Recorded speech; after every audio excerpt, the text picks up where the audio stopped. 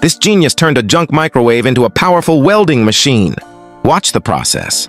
First, he safely removed the high-voltage transformer. He cut the wires and took it out. The key is the two coils inside. The bottom one is for the 220 Vi input. He removed the original top coil, the secondary winding, and mounted the transformer on a wooden board.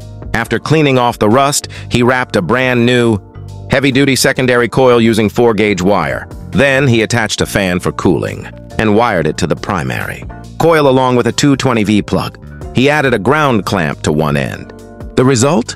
A solid, homemade welder perfect for small projects. The fan spins smoothly, and the welding performance is seriously impressive.